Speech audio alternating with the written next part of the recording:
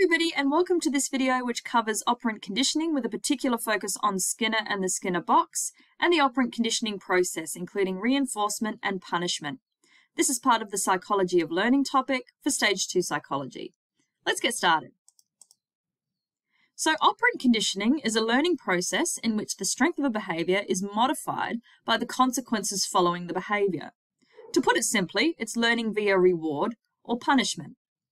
It's important to remember at this point that classical conditioning, which is the first form of learning we covered, involves involuntary behaviours, which includes reflexes such as blinking, feeling queasy, and salivating. Operant conditioning, on the other hand, involves voluntary behaviours, so the behaviours are chosen. So, behaviour can be continued by rewarding it, or it can be decreased by punishing it. So the main pioneer in operant conditioning was B.F. Skinner, pictured here. In the 1930s, B.F. Skinner began experimenting with rats and pigeons.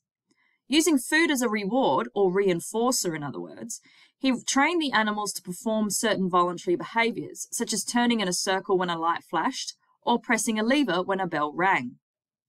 Theories state that behaviour that is followed by pleasant consequences is likely to be repeated and behaviour followed by unpleasant consequences is less likely to be repeated. It was Skinner that proved this in an experimental setting. So Skinner designed a chamber that became known as the Skinner box. By placing hungry rats and pigeons into this box, Skinner was able to study operant conditioning through conducting experiments with these animals. By using different types of reinforcement or punishment, Skinner could change the behaviour of the rats or pigeons inside the box. This process is called shaping. Now let's cover what a reinforcer or a punisher is. A reinforcer is anything that strengthens or increases the likelihood of a behavior occurring again. So the stimulus can be an action or an event or an object. A punisher is anything that reduces or weakens or decreases the likelihood of a response occurring again. Again, the punishment can be an object, action, or event. Let's first look at reinforcement in more detail. Reinforcement is any process that increases the frequency of a targeted behaviour. Operant conditioning is effective when behaviour is reinforced. So initially, when we're trying to shape a new behaviour, reinforcement can be continuous. So this means we reinforce it, or reward it in other words, every single time it's done.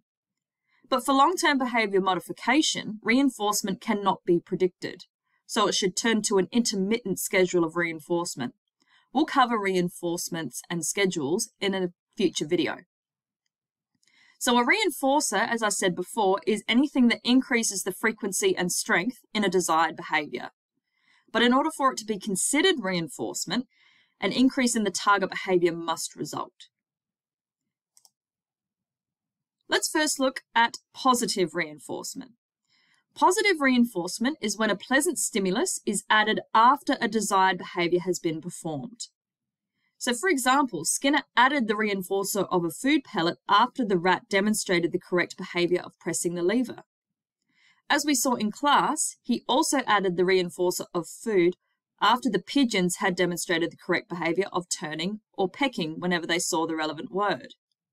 Another example of positive reinforcement is when a student studies hard that's the behaviour that needs to be reinforced.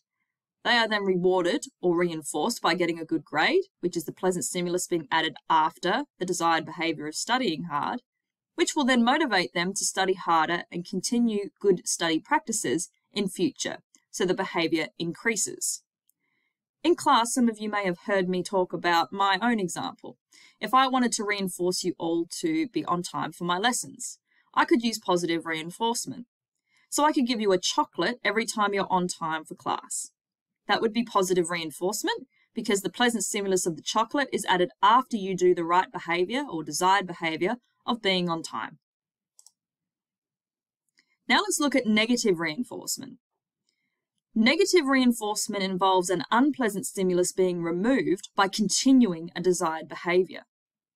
So for example, Skinner turned off the electric shock when the rat demonstrated the correct behaviour of pressing the lever. So the easy way to think of negative reinforcement is we must continue to do a desired behaviour in order for something unpleasant to be removed. A very good example of this is taking a Panadol or painkiller to remove a headache.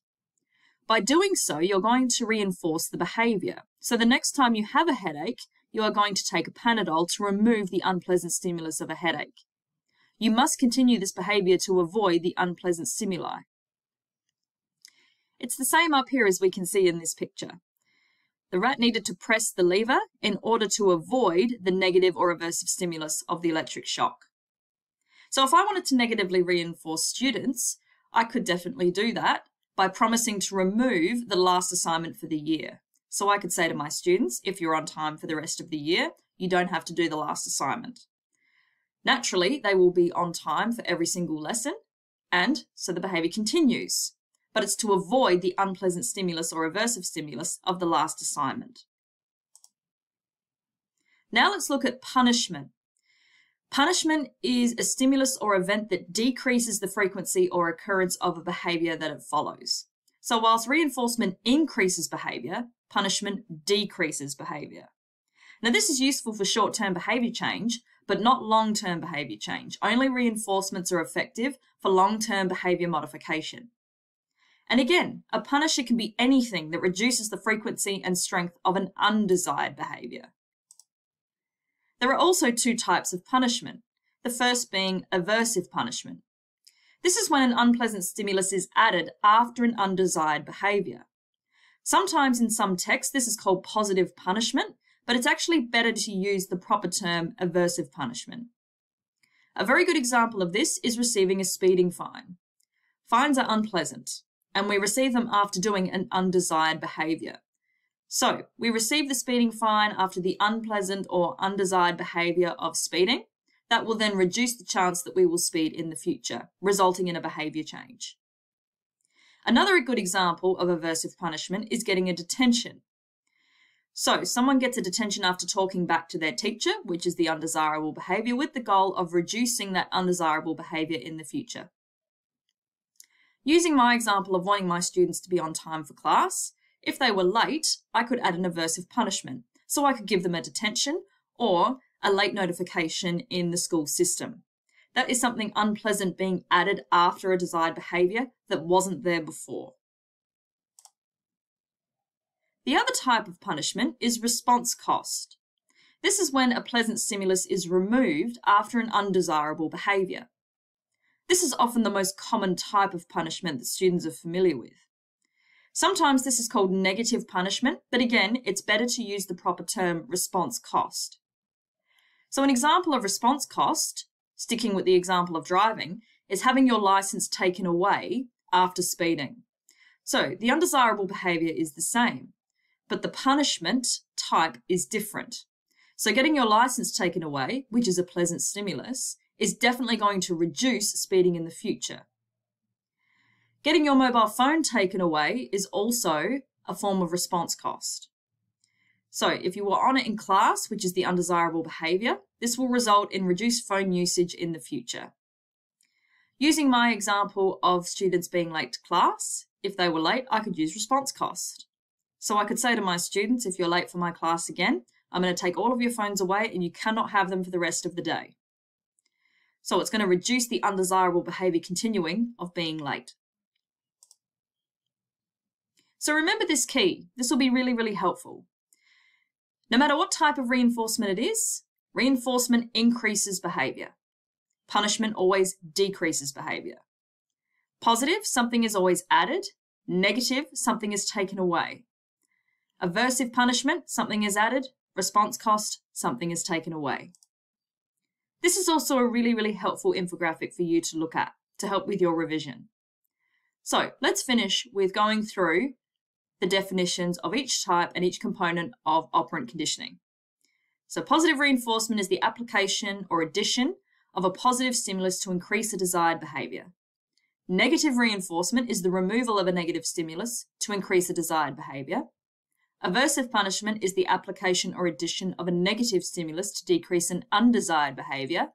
And response cost is the removal of a positive or pleasant stimulus to decrease an undesired behavior.